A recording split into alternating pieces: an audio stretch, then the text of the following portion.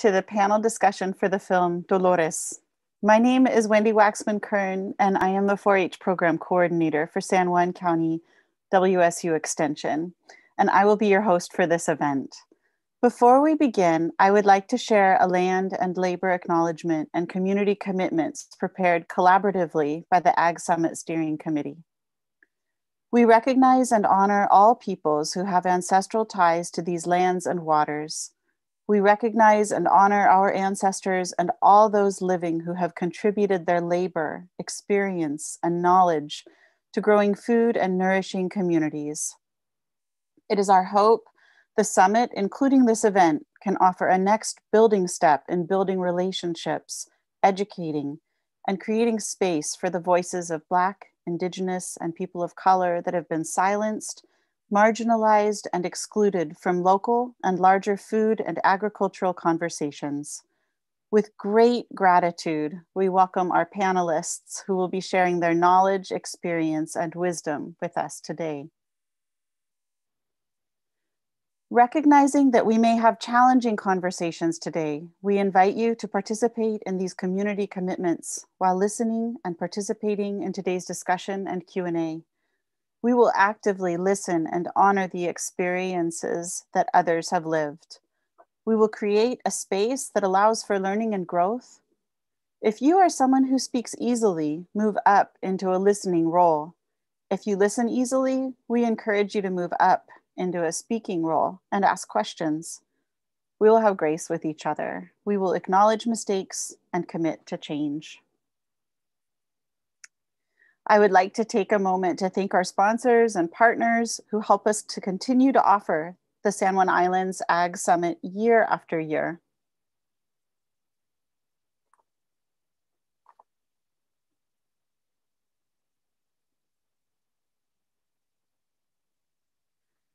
And lastly, before I introduce today's facilitator, a few housekeeping items. This session will be recorded, so you may access it later. The chat is disabled for this webinar. We welcome you to add questions to the Q&A box as you think of them. We will do our best to get through and answer. You will receive an invitation to an evaluation of today's event at the end of the session. Please fill it out. Your input helps us create better programming.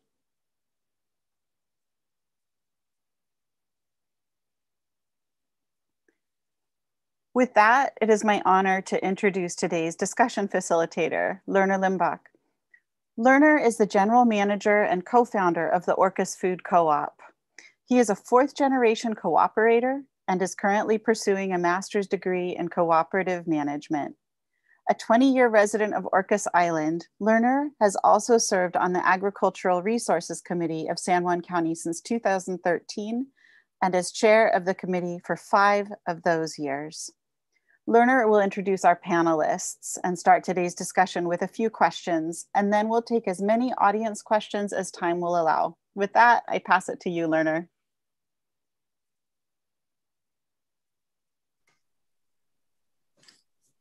Thanks, Wendy, and just want to express my gratitude to everybody who put this event together. Um, it's an honor to be here with you all today and to welcome our amazing panelists. Our first panelist, Dolores Huerta, is a labor leader and community organizer. She has worked for civil rights and social justice for over 50 years. In 1962, she and Cesar Chavez founded the United Farm Workers Union. She served as vice president and played a critical role in many of the union's accomplishments for four decades.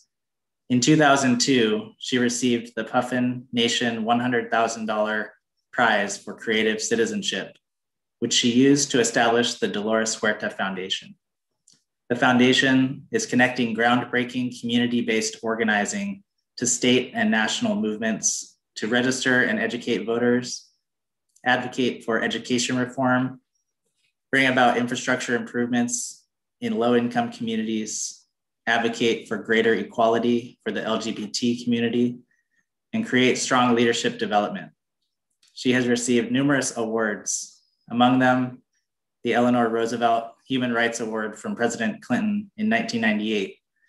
In 2012, President Obama bestowed Dolores with the Presidential Medal of Freedom, the highest civilian award in the United States.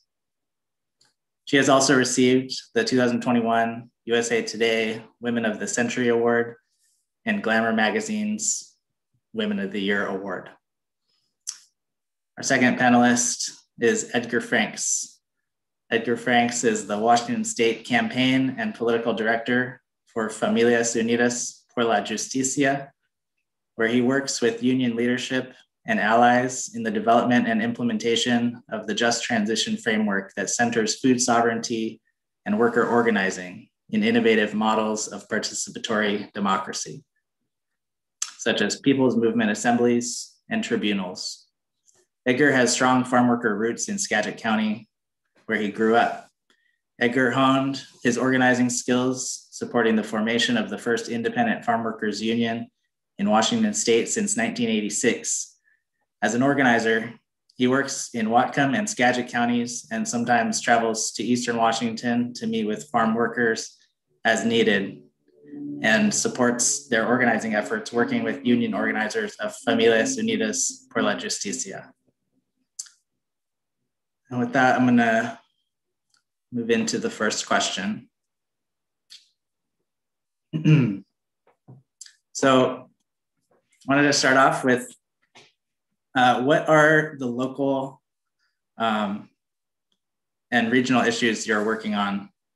Uh, oh, actually, I'm sorry. Before I jump into the first question, I wanted to just ask you both to uh, take a few minutes and uh, give an overview of your of your current work uh, before we move into the questions. Let's start with you, Dolores. Well, thank you. Well, we have uh, the Dolores Huerta Foundation, which uh, I formed after I left the United Farm Workers. And uh, we are doing a lot of work. Uh, right, we've been doing a lot of COVID uh, relief right now. Uh, we've uh, raised money so that we could give resources to some of those families that were not eligible for other types of relief. many, of them, many of them undocumented of uh, workers. And of course, many of them are farm workers or the people that we work with. we actually are in four different counties in the Central Valley of California, three President Kern, and also in Los Angeles County up in the high desert. Uh, one of our chapters uh, has a big task of feeding the homeless people. They've sort of adopted a homeless camp and they make sure that they get hot food served to them. Uh, we're also uh, right now canvassing actually uh, our uh, they're, they, our folks have got their masks on and they, you know they've got the shields and the masks and they're going door to door and they're providing a re- relief i mean information about what resources are available to people and also providing them the masks that they need uh, during this pandemic. We have a big youth group in all of our different areas and our youth group they pretty much participate with what we do but they also have their own uh, uh, uh youth development uh, lessons uh, that they that they receive uh, we're very active in the state legislature, supporting a, a many, many uh, pieces of legislation not to help the people uh, that we serve. And um, we have a huge education program. We're active in about 17 different school districts and basically uh, trying to eliminate the school to prison pipeline, uh, fighting the discrimination that we face in our schools. We sued our high school district here in Bakersfield, California. By the way, Bakersfield, California is the most conservative conservative county in California. Uh, this is uh, the area that Kevin McCarthy, who is the Republican head of the House of Representatives, uh, he this is where he's from. So, and this county is very embedded with racism.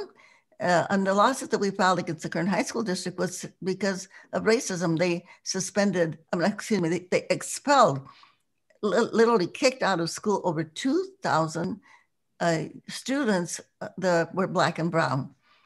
Uh, I would say about 95% of them, are black and brown. And so uh, we sued them for implicit bias. Uh, they have, from the 2000 that they expelled, we have got that number down to 21, from 2000 to 21. And so we're still working on that because some of the things that they were supposed to do, they still haven't done. We were, they were supposed to do a Black History Month and Hispanic Heritage Month and of course, they didn't do it. Oh, I, I forgot to mention that 70% of the students are students of ethnic backgrounds, the majority of them Latino. Okay, so well, this is just an example of the uh, systemic racism that we're uh, trying to fight. But in the our organizing, because we do grassroots organizing, uh, we tell folks when we, we organize them that number one, nothing is going to change unless they get involved. Number two, they can't do it by themselves. You've got to have an organization to make it happen. Uh, we have to take direct, non-violent action to change things, and that they can't ex- expect anybody to come and do it for them that they are the ones that have to get out there and make the changes, and they do. And then, of course, some of them get elected to school boards and recreation boards and city councils. And of course, now with redistricting, we're very active in redistricting. So hopefully, after the redistricting uh, is over, we're going to have many more of them that will be representing uh, their communities where they live. You know? So uh, this is our aim. It's about building political power, but doing it from the grassroots level. Thanks so much. Okay, Edgar, go ahead. All right. Um, great to be here with everyone. Thank you for inviting and happy Passover. Um, so um, I think some of the regional work um, and some of the scope of work that we've been working on, um, it's kind of twofold, I think. Uh, some of it is policy, even though that's really not uh, our priority as a union. Um, you know, our focus has always been, um, you know, organizing workers. If there's no workers, there is no union.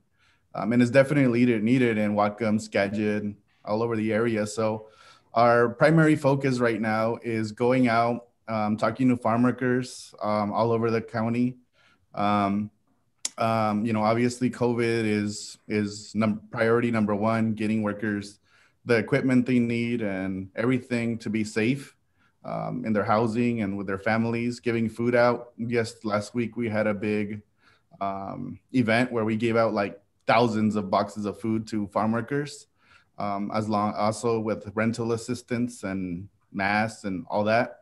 Uh, we've been helping people register to um, to get their vaccines. I actually have a vaccine appointment right after this. Um, so that's been our number one priority the health and safety of workers um, our um, organizing you know we're really into organizing locally but however because there are so few organizations or unions that specifically uh, address the needs of farm workers we've been asked to go outside of our our area here in western washington um, we know for the majority of last year, we were in Yakima and the Yakima Valley supporting a series of strikes that were organized by processing, apple processing uh, workers, um, where thousands of people were getting sick and hundreds, unfortunately, died uh, because the help was so so late in arriving.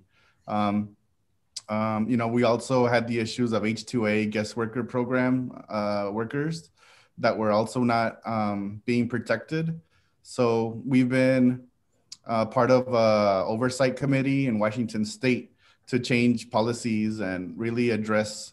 Um, um, why, well, just figuring out why the H2A program has blown up so much in Washington State, and it's causing, um, you know, we're talking about the food system and labor. That's, you know, I think one of the big issues that we really need to investigate here in Washington State. Um, this issue of the H2A workers um, and the power imbalance that exists there. Um, uh, so yeah, we've been trying to work on all fronts. Uh, you know, obviously, um, our priority is our local our community here in Skagit, Whatcom, San Juan Islands also.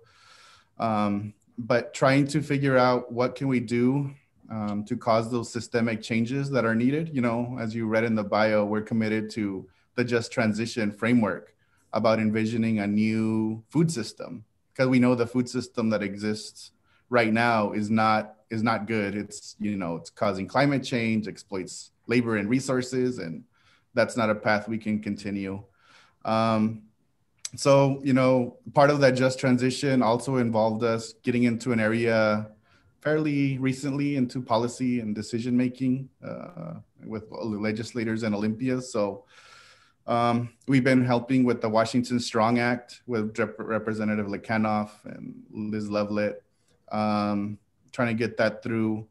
Um, uh, the HEAL Act, which focuses and highlights environmental justice and policymaking. Um, and also, again, um, shifting um, our attention to uh, farm workers, um, trying to pass overtime for Washington farm workers. Uh, hopefully, we'll get that bill signed in a couple weeks. And um, uh, being on the H2A oversight committee uh, with working with the governor's office to, uh, again, um, really look into the solve the problems of the H2A program here in Washington State, which hopefully can lead to something at the federal level. Hmm. That's actually a great segue. Um, my first question, uh, and thanks so much for the overview, um, had to do with what are the local and regional issues you're working on and how do they tie in with the broader struggles? Um, I'd be curious to hear more about the H2A for sure and how, how working on that locally ties in with the um, national efforts. And um, yeah, anything else that you have to add about uh, local and regional issues you're working on, how they tie in with the broader struggles? Uh, am I? Is that? Yeah. Now oh. it's a free for all. Either one of you. Yeah. Go ahead. Go ahead, Dolores. Thank you. Well, uh, I agree with Edgar that the H2A program is really a negative. It really uh, negatively impacts on the wages of farm workers. It's really a slave program. And of course, that's one of the things that we're fighting right now is uh, racism because we know that that's, uh, that's uh, racism started with slavery and unfortunately, the H-2A program is what I consider a step up from slavery because the workers that don't have rights, they, they don't, they're not covered with Social Security. They don't get unemployment insurance, at least in the state of California where we have unemployment insurance. Uh, you know, they're not able to join a union and uh, they're captive. They're totally, completely captive. And they're brought in basically to displace the local farm workers and whenever H2A workers are brought in, you know, the wages are, are dropped. And, and the growers, of course, they, pre- they prefer to have their slaves rather than have the local farm workers. So it has a de- devastating impact also on the local communities. So I'm happy to see that uh, Mr. Franks is actually working against this issue. I think it's a very, very important issue. And we know that under the Trump administration, uh, they brought in many, many more uh, H2A workers. And actually, when Hilda Solis, who was the first Latina to be on the uh, on Obama's cabinet, and before that, actually, when we passed the amnesty bill in 1986, uh, which legalized a lot of farm workers. And I always like to remind people that it was Senator Ted Kennedy who did the heavy lifting to get that bill passed. And I was working with Senator Kennedy uh, in Washington, D.C. Uh, so we made it very uh, stri- strict for them to bring in H2A workers. The Trump administration diluted those protections for local workers. And so we have, now we're stuck with this. And uh, hopefully, uh, President Biden, we have a new Secretary of Labor now, as we know, and hopefully that we can uh, change that and bring it back to where it was before because the restrictions that we had put into the law were number one they had to uh, they had to uh, they had to recruit local workers uh, workers had to be paid the same wages uh, or to be uh, any H2A workers uh, would have to be paid the same wages as the local workers. And, and they couldn't do this without going into the community to recruit local workers, what meant radio ads, newspaper ads, and actually have local recruiters come out there because we know we have a lot of young, especially young people of color, uh, Latinos basically, that are out of work. They don't have work. And agricultural work is a very dis, a, a dignified work. And we know the farm workers that put the food on our table every day. Yeah. And I think many of them are finally getting recognized as essential workers, at least in the state of California. They have now been recognized as essential workers. And I think even with the uh, the uh, American Rescue Plan that was just passed, they are they are they are recognized as essential workers because at least in California, they have been given priority in terms of the vaccinations, which we are also doing vaccine clinics uh, like Mr. Franks is. So you know, that, that's a step forward. But I think we have to go a lot further. Uh, for instance, uh, I was on a Zoom uh, this morning uh, with uh, people from Colorado who were celebrating Cesar Chavez Day. And uh, in Colorado, they have a farm worker bill that they're trying to pass now. And it really just gives workers the basic things like overtime pay, as Mr. Franks also, also mentioned, uh, the fact that they can't uh, reduce uh, their minimum wage or make it separately, and a lot of provisions that industrial workers have been given those benefits for 85 years. since 1935 when they passed the National Labor Relations Act, you know? And, and one would think, well, why does it, that it takes almost 100 years for farm workers to be treated with respect and been given be to be given the basic rights, you know. Mm-hmm. And it wasn't until the farm workers got toilets in the fields uh, when the, we in the United Farm Workers went out on strike and did our boycotts and everything. But from the time I signed my first contract, my first collective bargaining agreement with toilets in 1966, then it didn't become a law until Jerry Brown got elected, I think 1970, did not become a national law until 1982 almost 20 years to get farm workers to, to have toilets, you know? And wow. so we know that we, but I think that in today's world, when things are moving much more rapidly, when people's attentions are now focused on racism, uh, when literally people have to be outed uh, whether they're, they're racist or not, you know?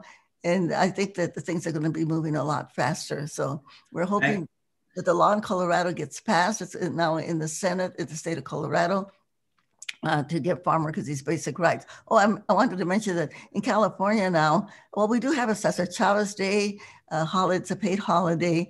Uh, I have a recognition day for myself, and then our Filipino uh, Vice President of the United Farm Workers, Larry Itliong, he also has a recognition day. But now they are considering a farm worker day. and I think it's going to pass. I think our governor is going to pass, you know, sign it when it passes the legislature. And that will be good because that way it will just remind everybody that farm workers feed us. And, and the other thing is that the Farm Bureau is supporting it. And so now we see that, you know, once you get something into a law, the growers have to comply and then they do it because they have to. And now they say they don't mind it. Dolores, could you, um, so there's been a lot of talk about H2A program, which is such an important topic right now. And I know there's a lot of people that um, probably are on this who haven't really heard of the H2A program. So would you mind just giving uh, just a quick, clear description of what the H2A program is and why is it, um, you know, why is it a negative thing? Is that for me or Mr. Franks? Oh, either, either one is fine. Um, if you uh, you could answer it. Well, I, I can answer because, you know, when we started the United Farm Workers, that's one of the things that we were fighting for. And we were finally able to eliminate the H, uh, the Bracero program, as they called it then. Bracero means arms in Spanish. And we were finally able to eliminate the Bracero program in uh, 1962, or excuse me, 1963. And once we did that, then it was so much easier to organize the workers into a union. But it was very, very hard to do it while they had the Bracero program. And this is basically, it's a foreign worker program so that, you know, our government can bring in uh, uh, foreign workers uh, from, mostly they come from Mexico, but actually we had a lot of foreign workers that were brought into the state of Washington. And in fact, I think we filed a, the United Farm Workers, we filed a lawsuit because uh, they had uh, foreign workers that were, be, I think, being brought in from from Thai, Thailand, if I remember correctly, and it was quite a scandal because these workers had to uh, borrow money to be able to come, and then they were kind of held in hostage, and then they couldn't pay the money; they weren't being paid uh, any wages they, they could possibly catch up, and so they, this has been going on uh, since World War II, actually, that's when it started. Because when so many people were taken off to war in World War, II, then they had to bring in people to, uh, to again, to do the agricultural work. So it started, the program started, I think, in 1942 or 43, right after the war started. But then it kept going and going and going. Even after the war ended, they were still bringing in. Uh, so over the course of, and I think we finally, as I said, 1962, by that time they had brought in several million. And it got so bad. And I, you know, I worked on this program for so long to try to get rid of it. And I worked with a lot of the braceros that they would, uh, growers would actually have a, a crew of workers and then they would rent them, literally rent them to other growers. And they got fabulously rich because of back there, it doesn't sound like a lot of money now, but every farmer uh, got money from the government to feed the workers. And so uh, I know you all know who the Chargers are. That's a really uh, a football team here in California. Uh, the, the owner of the Chargers, and I happen to know him because we grew up in the same town, and I knew him when we were, when we were kids. He became fabulously wealthy, uh, you know, off of feeding the braceros. because uh, they got the money from the government to feed them, but then the kind of food that they gave them was not nutritious, and and, and many of the workers suffered so much. So we, I had a lot of cases of those braceros. The the good thing that happened is after the program ended in 1962 or 63, I can't remember which year, but the our government legalized a lot of the braceros. Okay, so and it kind of happened without any legislation. And there was no law that passed. Just all of a sudden, all of the braceros were legalized. Okay, so a lot of the families that we have right now, uh, like uh, Mexican, especially Mexican families, uh, were legalized during that period of time. Thank you. Um, so why don't we? I want to see if Edgar has anything to add about uh, H2A and sort of how that ties in with the national um, issue and other other local issues, maybe. And then I have some other questions. No, no, I think um, I mean we're trying to. I think that legacy that Dolores Huerta and the UFW have left us of you know fighting these exploitative programs. It's something that uh, we continue here in Washington State. Um, if y'all remember in Sumas, there was a huge farm here of like 2,000 acres of blueberries where workers were out working for like 12 hours a day under when it was like that wildfire in British Columbia. And just like workers were just falling and passing out. And unfortunately, one passed away. Um, but out of that, you know, came a lawsuit. Um, the farm was penalized. Um, and then that started also a series of strikes around the United, um, Washington State that we were involved in that all involved H2A workers from, um, you know, Kennewick to Mattawa and Quincy, um, and all under, you know, the same things that uh, Dolores just mentioned. It's the same thing, you know, human trafficking from bringing workers from California to Washington, withholding passports. If workers speak out, um, they get blacklisted. Um, so yeah, it, it, in essence, we are we're in agreement that it is a quasi slave program, just legalized, um, and it's causing great harm to farm workers, um, both the ones that are getting brought in and the domestic workers that get displaced by the program.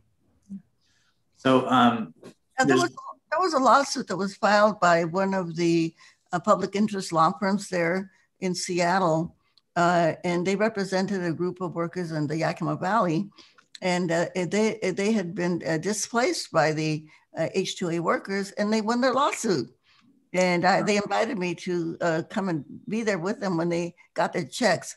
So, but that that's very rare that that happens because you really uh, got to know workers that are knowledgeable. You've got to have a, a, legal representation, people that will offer to represent them. But it happens a lot, and that's why the growers would prefer to have, as I said before, would prefer to have slaves and pay them less, but they do uh, the, the, local workers. Hmm.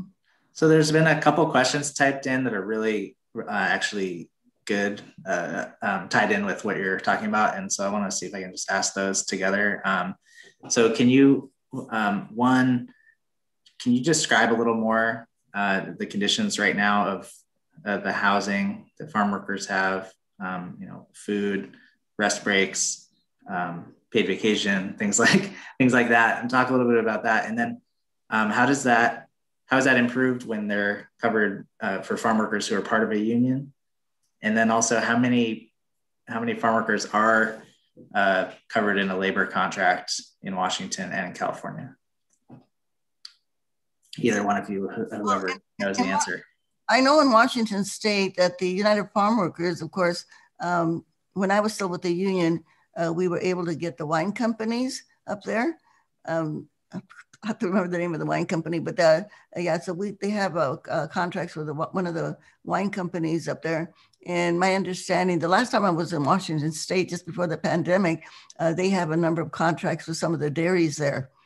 And so the United Farm Workers, I think they do still have organizers that are working in that area. So um, in terms of the housing conditions, uh, I think maybe uh, Mr. Franks can probably give a better description of that than I can because uh, I haven't been up there recently. In California, uh, obviously when farm workers have a, a union contract, they make more money. They're going to get a pension plan when they retire from working. Of course, in the state of California, we also have unemployment insurance for farm workers. We also have the overtime uh, for farm workers also. So uh, one of the things that is now being considered in the legislature is that farm workers can choose their. Oh, we have the agricultural labor relations law, which allows union to join a union. Uh, and uh, a bill is being considered in the state legislature right now that is really going to help more workers uh, unionize is that, that they can choose their union with what they call a card check election. So instead of having to have a secret ballot election, which puts a lot of pressure on, on the workers, they can just choose their union with a signature. And if you consider that your signature is good enough to buy a house, buy a car, get married, get a divorce, that it should be good enough to be able to choose your union. Awesome. Edgar? Yeah, um, I think the housing is still an issue in Washington. Um, uh, where we have our contract, uh, we do have better housing than before. I know before a lot of workers are were living in cramped conditions and you know mice in the mattresses and tin roofs and all that. This was just like a couple years ago. It wasn't like a long time ago. It's still the dilapidated housing exists. Um, so, and we also have this issue about again the H2A program and the housing conditions they're currently in, where a lot of the outbreaks started happening in agriculture because of like packing people in into uh, small trailers or small cabins with no six feet separation, no ventilation, um, uh, no real enforcement on on people that weren't enforcing the social distancing um, uh, guidelines from the CDC and the governor's orders. So the housing continues to be an issue, um, not only for H2A but even local workers. Um, I mean, uh, just rent on itself is getting super high um, even in areas in Skagit and Whatcom in rural areas, our rent is starting to go super high, uh, while wages are still very low. Um, so that's another area of concern um, that we want to really address the affordable housing crisis, um, not just for farm workers, but everybody in our community. I mean, we've seen like homeless sweeps happening here in Bellingham for the last couple of weeks, which is sad to see.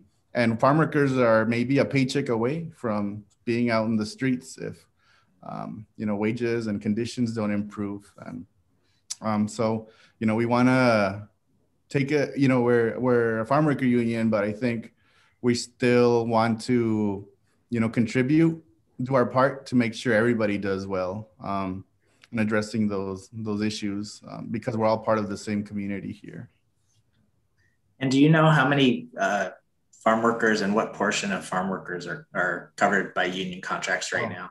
Yes, and oh, um, so the winery that's on the union UFW contract the Chateau Ste. Michelle, um, and I believe in Sunnyside, I think is somewhere over there. Um, and uh, we have, uh, I think there are around 200 or 300 workers under contract, uh, and our union has uh, 500 workers under contract. So you know, if 700 total under contract, and 100,000 workers that still need to be organized. So we, I mean, we consider that an opportunity for for uh, organizing.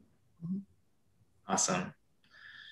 Um, there was a question about the Farm Workforce Modernization Act um, recently. How? Yeah, I was going to say that in California, of course, there are many more hundreds of workers mm-hmm. that have union contracts, and uh, particularly in the vegetable industry, the strawberry industry. So yeah, but it sounds like it's a small percentage. Yeah, let, let me just say something though. Yeah, and I think that uh, the agricultural community, and uh, I remember hearing the word partners a little while ago. I don't remember what context, but in, in this Zoom that we're doing, but the agricultural industry has, they are so hell bent that not to let their workers unionize, not realizing that the workers are their partners. I can say that when I was with the union and uh, I negotiated the contracts, and many of the employers didn't realize that their workers are actually taking care of their property. I remember one particular grower who didn't know that he was being ripped off by his uh, supervisors. And uh, when we sat down negotiations, the worker said to him, Look, you don't realize that one of your managers of your ranch is actually taking uh, equipment and material off of your property to start his own company, you know? So the workers, the farm workers, they care about the land, they care about the crops, and they're there to protect the employer also. And so again, when we talk about racism, if we can eliminate that racism so that employers can see their workers as human beings, if they can see their workers as equals, if they can see their workers as partners, and take away that opposition that they have to partnering with their workers, let them form a, an organ, a union. A union is an organization. The employers have their organizations. They belong to Western Growers. They belong to the Farm Bureau Federation. Um, somebody's knocking on my door. Hold on just a second. Uh, All right. Anyway, uh, so uh, you know they, they don't realize that that uh, if they can get away from that mindset, and, and it comes down to slavery because they have that racism against the workers because most of the workers are uh, uh, brown or black or Asian. If they can just get away with that and say, okay, we're going to be equal, we're going to be equal with our workers, you know. Yeah. I mean, goodness, treat them as equals and, and not as as uh, people that are lesser than they are.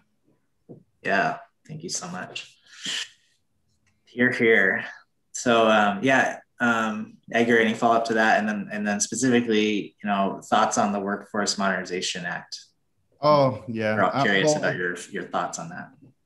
Um, yeah, I think there still needs to be a lot of work around the, the relationship between employers and workers.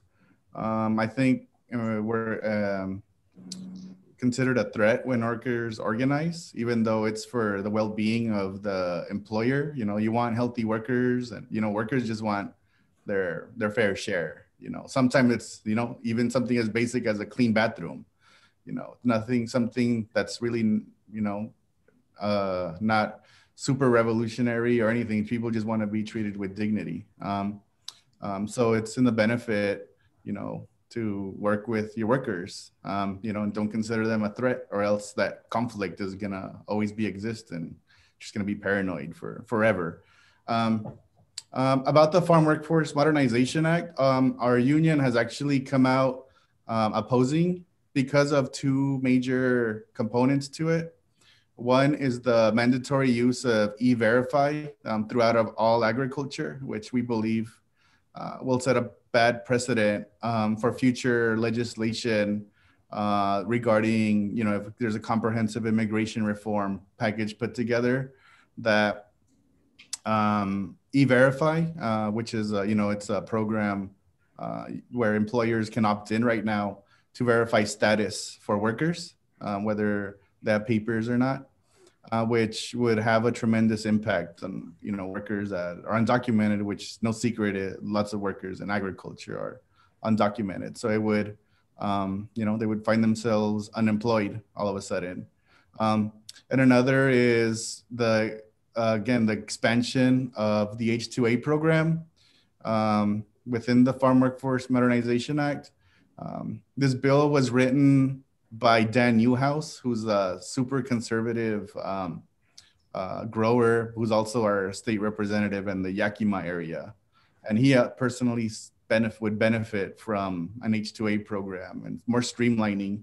You know, we already mentioned there's a lot of uh, power imbalances within the H2A program and believe that this would only be another uh, challenge for farm workers going down the line. So those are uh, our opposition to the Farm Workforce Modernization Act. Um, you know, we believe that workers should just get amnesty, just flat out, uh, because of everything they've done throughout the pandemic and beyond.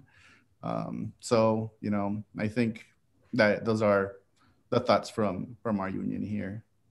Well, actually, uh, that's right on point right now because there is an Immigration Reform Act right now uh, that has already been presented in the Congress. And uh, we know that in Washington State and California, uh, we have uh, great representatives that are going to vote for this. But we know that in the other states, especially in the South and the Midwest, we're going to have to put a lot of pressure uh, to try to get this bill passed. And it will give the farm workers, uh, uh, Senator Feinstein from California has had a bill now uh, to, in order to give the farm workers, uh, and all farm workers will be treated specially and they would uh, be given their legal status. So, but it's going to take, I think, a lot of work on all of our parts to contact people in other states, you know. And I know Washington State is right next to uh, Idaho, you know, here in, in California, we're right next to Nevada. Uh, and uh, we have to reach over to Arizona and make sure that we, and I think Arizona, we have two good senators now there too. Um, one of them is kind of waffling on, the filibuster, but uh, uh, Mark Kelly, I think, would vote uh, actually to, to give for that law. But we have to work to really uh, maybe make sure that we get all of the Democrats to vote for it, because as we know, the Senate is evenly divided right now. You know, with with Democrats and Republicans.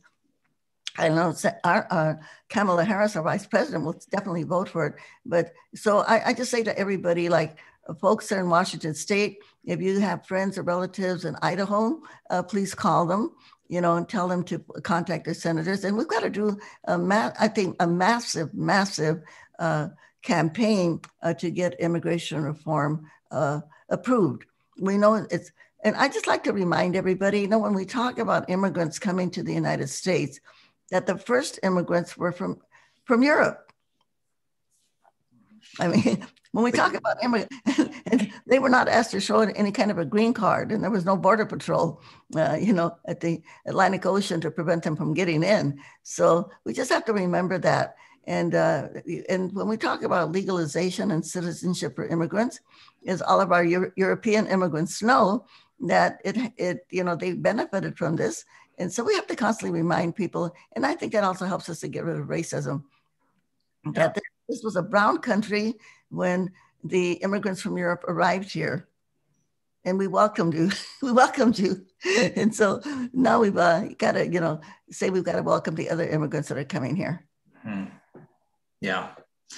So um, really quick, I just want to do a time check. It's 3:40, um, and there are some other questions typed in the chat. I'm going to try to get through um, uh, the other question prompts that I have, and then we'll see if we have more time for questions. But I think that questions that are typed in the, the uh, Q&A as well, um, we can probably uh, send answers out later. Um, so I just wanted to throw that out there as an idea.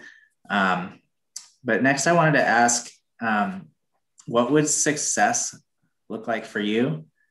And you know, specifically, what are some strategies um, that you're currently using or, or want to use to get to success? Um, and uh, why don't we why don't we start with Edgar? Um, well, I think how success looks like for us is to give workers uh, different pathways um, out of you know generational poverty and exploitation. Um, uh, whether it be you know through you know legislation and policy, and that's one way. Uh, union contracts and um, you know worker representation, um, that's another way. But I think one of the ones that we're really focusing on and want to build off of is you know what would it look like if farms were run by workers um, if they had access to capital and land and you know all those things you need to set up a farm um, and which and we believe that workers because of the history um, you know we're people of the land um, um in our union um, almost 100% are people um, from indigenous communities from mexico and, and guerrero that have sown the land for thousands and thousands of years for generations. However when they cross the border you know they're put into these conditions where you know they have to work and hustle and you know work themselves to the bone to barely scrape by with no land or anything. Um, so we believe because of those experiences and the knowledge that farm workers possess, that they also have the skills and knowledge to build sustainable farms free from exploitation, whether from pesticides or abusive bosses. So that's one of our visions for our union to create these paths so workers can someday, you know, have that opportunity to have their own farms and, you know, talking about just transition, you know, transition away from industrial big corporate agriculture to communal self-sustaining and food sovereignty minded principles. Um, and I think we can do it because we're already doing it here in Whatcom County with um, a, a, small farm worker cooperative called um, Tierra y Libertad, which has been operating for now five years, barely. Um, you know, we still have to pay off all the acres, but and, you know, it's there and it's serving as a model. Um, so I think that's the vision. I think to someday transition um, agriculture in those ways to give the means to to workers to you know to be well, not to be super rich and you know whatever, um, but just to be well. I think that's more important. Awesome, thank you, Dolores. Well, I, I love that vision. I think it would be wonderful if we could get back to the idea of the family farm and get away from agribusiness. If we could have organic farming everywhere so that we could stop the use of uh, these economic poisons that are put on our food. And I think some of this can be accomplished actually through legislation. And I, I'm a big believer in democracy. And I do believe that ultimately, uh, whatever we want to happen has to be put in the form of a law. Uh, it has to have, we have to have legislation so that can be implemented where people can be held accountable. Uh, you know, so, uh, and I, I'm, I'm just want to say, I'm so happy that you're working up there in the Yakima Valley because there, I think with a big, I've always wanted to go back to the Yakima Valley just to do a big voter registration drive there. I know there's a lot of great leadership in that area, uh, but it's time that they get a representative from the Yakima Valley that looks like them. I think on redistricting, which we, is another thing that uh, we are working on here uh, with my foundation. Uh, we're very, very involved in redistricting uh, to make sure that people get the representation that not only looks like them, but that has the same values as they have. And so I think uh, my so my my uh, the way that we're going to change a lot of the issues that are facing us, and not only for farm workers, but uh, just for uh, people of color, you know, is that we've got to erase the inequities that exist in, in our society. And uh, we have to do it through legislation. I, there's some pieces of legislation that are in the Congress right now that are, besides the Immigration Reform Act, uh, we also have uh, uh, the, uh, the For the People Act. And again, sometimes on the West Coast, we get a little spoiled uh, because you know we do have such, such, great representation in our legislatures and in our Congress, but you know we know we have these other states. Uh, For the People Act, by the way, is is uh, to prevent the voter suppression that has been going on, and also to get the money out of politics so we can pu- uh, have public uh, campaign financing, and so that people uh, that look like Edgar can run, can run for, for office. You don't have to be a millionaire to, uh, to run uh, for a public or political office, and so that's going to be really important. Uh, the other thing is a woman. I have to say that we have to fight for women's equality. So there's another bill that I'm uh, really uh, t- asking everybody to support, and that's the Equal Rights Amendment for women. And uh, we can make history in 2021. You know, last year we celebrated uh, the fact that women got the right to vote, but in 2021, we can actually celebrate the fact that we can get into the Constitution of the United States the Equal Rights Amendment the United States is only one of the few countries in the world that has not uh, ratified the Equal Rights Amendment. It's also in the US Senate. So we have a lot going on in the US Senate. And again, I want to encourage everybody call your friends, call your relatives in the other states, and ask them to call their senators to support immigration reform uh, for the People Act. To, so that we can make sure all of these state legislatures that are passing laws uh, to keep people from voting, especially people of color, and of course the Equal Rights Amendment. And if I could, uh, uh, Mr. Mr. Limbaugh, Limbach, uh, if I could uh, give the website for the Equal Rights Amendment so everybody can write it down if they want to get yeah. It's very simple. It's ERA, yes, 2021.org. ERA, Y-E-S, 2021.org. Thank you so much. Yes, thanks for mentioning that. Um, I totally agree. Um, uh, thanks so much for all those solutions and um, sharing that with us because I think that um, it's a lot of times easy to focus on the negative. And um, so one of the things we wanted to do is just really have some positive, you know, there's actually a lot of positive stuff happening um, and real ways to make change. Um, so uh, we only have about 10 minutes left. And so I, I wanted to wrap up sort of by just uh, having you elaborate a little bit on how other ways that people can get involved and, you know, what would you like to leave the participants with today? And, um, you know, how can people get involved with, uh, you know, what you're working on? Uh, yeah. Oh, we'll just, we can just do Dolores and then we'll go back to Edgar. Okay. Well, uh, I think that uh, all of us have to become uh, uh missionaries. Uh, we all have to become healers. You know, Dr. Martin Luther King Jr. said that racism is a sickness. And we know that people uh, are being outed because they're racist. And people have to take a position. you're racist or you're not a racist. And those of us that say, well, we're not racist, but it's not enough to be not a racist. We have to be anti racism, okay? Because this is something that the cancer that we have in our United States that started again with slavery uh, against the indigenous people, against you know the African slaves that were brought here. And we know that we have to get rid of this because it has been so hurtful, not only to farm workers, but to all communities of color. And so we just have to say, enough is enough. It's time to get over it. And we've got to look at all of our institutions, uh, public and private corporations. Everybody has to dig in right now and you know declare themselves to be anti-racist and start doing something about the healing.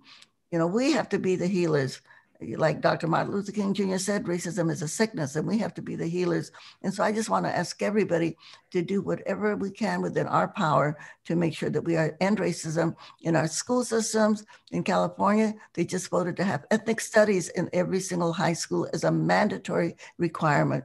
And we've got to get that down into our elementary schools from kindergarten because kids are not born racist they're made racist by the culture that they grow up in or or or, or, the, or their parents and so we have to stop this. So we have to have ethnic studies in kindergarten. We have to have women's studies so that little boys will know that little girls are equal to them, maybe not in physical strength, but definitely in intelligence, and we can stop the abuse against women. Okay. Uh, labor studies, so people will know what labor unions are, you know, that they can understand why workers, because labor unions are workers organizing in their own organization to represent them, just like the employers have their own organizations, okay? And and and also civic studies, I think so. And in civic studies, so people understand the importance why everybody has to be a voter and why we have to elect progressive people uh, that have good values uh, to be our representatives. And then one other thing I just want to throw in there, when I talk about women's studies, I also want to talk about gender studies. And so the discrimination against our LGBTQ community uh, can also be ended because uh, these are these are uh, the opposition that is keeping us from going forward. They're using women's reproductive rights, the right to abortion, using gay rights as, as, as ways to divide us, to divide people. And we have to say, hey, those are, you know, if someone is LGBTQ, we have no business about who they love with or who they marry. It doesn't affect your family, right? The same thing with women's right to abortion. You know, that doesn't affect your family at all. And there's a, a great Mexican president, his name was Benito Juarez, and he had a statement that I like to share when people are kind of confused on these issues. And his saying was, respecting other people's rights is peace.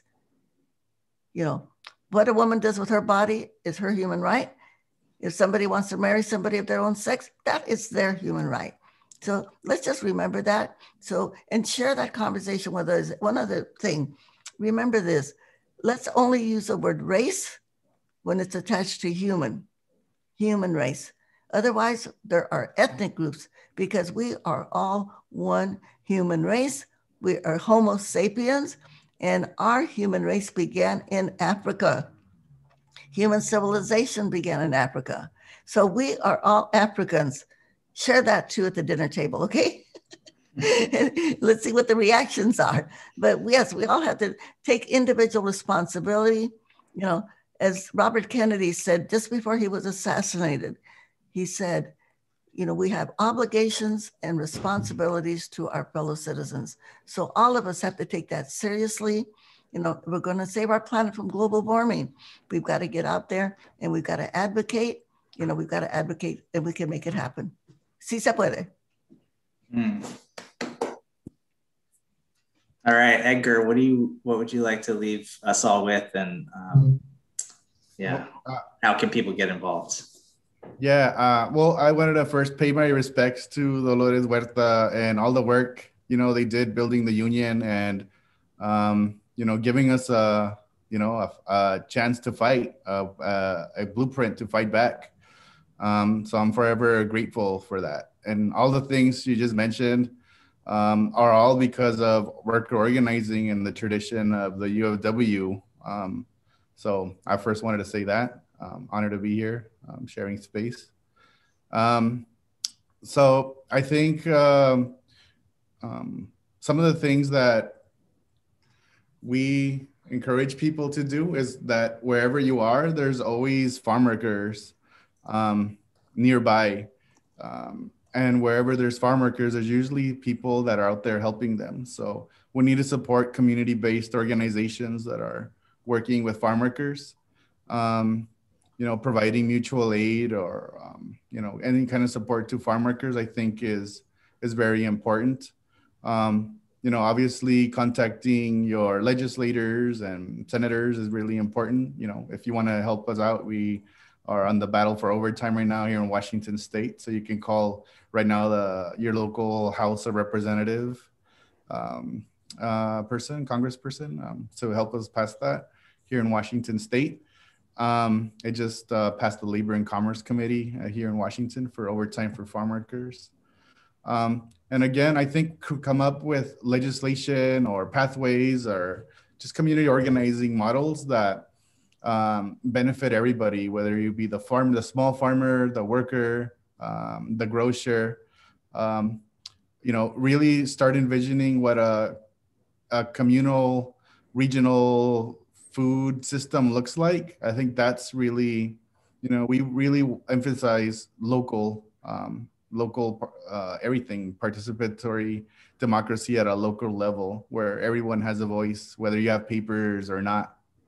Um, I think that's um, um, where we want to really um, focus a lot of our attention to on top of farm worker organizing you know working with allies and community to come up with these solutions um, so and using everything that we have at our disposal um, you know there's a lot of smart people out there that sometimes aren't giving given the space and the chance but you know hopefully uh, when we recognize them we give them chances to speak up and we listen to them um, because after all the people with uh, experiences are the ones that are going to come up with the, the solutions.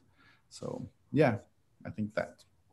Yeah, and I would just like to add that if, uh, if people want to learn more about the work of the Dolores Huerta Foundation, uh, we're at doloreshuerta.org. It's really easy to find us. And if they would like to support uh, and become a part of our social justice movement, uh, they can just uh, uh, put in joindhf.org, joindhf.org. And if people want to support us, and also I'm sure Mr. Franks' organization, but if they want to support the Dolores Huerta Foundation, you can do it at uh, give2dhf.org. And I'll put, I'll, I'll, okay. That's awesome. Thank you. And um, what yep. I can, dhf.org. Mm-hmm. What I can do is um, I'll connect with uh, both of you, just make sure that uh, we can uh, maybe include some of that information in a follow-up. I'm not exactly sure what we can do, but I know we have everybody's email address who's on this. And um, so I'll, I'll see if we can get a follow-up out there with a, a list of links. Um, uh, yeah, so we're two minutes to four. So I'm just gonna close it out. Um, I just wanted to say that I'm really excited to get more involved, um, you know, with both of you and, and follow up and um, Edgar, you know, right across the water. Um, a couple years ago, I just wanted to share that I, you know, participated in the uh, Farm Workers March for for Dignity. That, uh, and that's where I first met Edgar, and um, that was just a really incredibly powerful experience, and um, um, and opened my eyes a lot. And and so, um, yeah, I just wanted to, you know, encourage. I think any opportunities that that we have when we're, you know, if we're invited to come participate. Um, from personal experience, I found that really powerful. Um, and One Dolores, day march again. yeah, one day we'll be able to to march again. I look forward. I look forward to that. Um, and Dolores, uh, it was so special just having you here, and you look great, and it's just such an inspiration. Um, I'm definitely gonna carry this day with me, you know, going forward, and um, just thank you for making the time and just keeping on uh, fighting and spreading the message. Um, and uh, yeah, thank well, you. I'm kind of excited to learn about your work too, because um, you said co- co- cooperative management. I know I don't know if that applies to agriculture, but I think it, it could also apply to yeah. nonprofit organizations. Okay, so it does. Yeah, so Absolutely. I would love it if you could put like your number in the chat or so uh, we can definitely reach out to you because our organization has grown so big, and you know when you grow really big, then you you have a you need a lot of work to make sure that yeah. the, the ship is uh, staying afloat. Okay, so I want to thank you very much for inviting me, and I just want to remind everybody that uh, the way that we say to people that you've got the power, right? And so we say, who's got the power? You've got the power. What kind of power? People power. All right. Yeah. well, thank you very much for having me. And thank you, Edgar, also for your work that you're doing with farm workers. Yeah. Well, I'll definitely, I'll definitely stay in touch. Right. Thank you. Um, and we're just gonna, we'll, we'll call it there and um, I'll see you guys soon. And also we want to thank everybody to put this together. Okay. And yeah. Each other in, in the physical world. Thank you, everyone. Have a good day. Bye.